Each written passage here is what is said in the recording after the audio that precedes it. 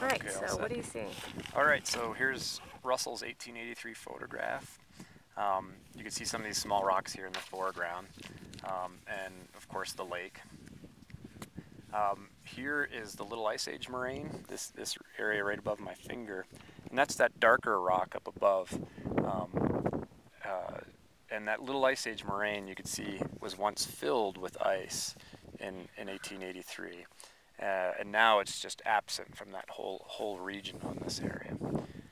Um, the other thing you could look at is is the angle of the ice the way it used to be, and now when you look at the glacier, it's got a very deflated appearance, um, and it's very kind of smeared against um, the wall.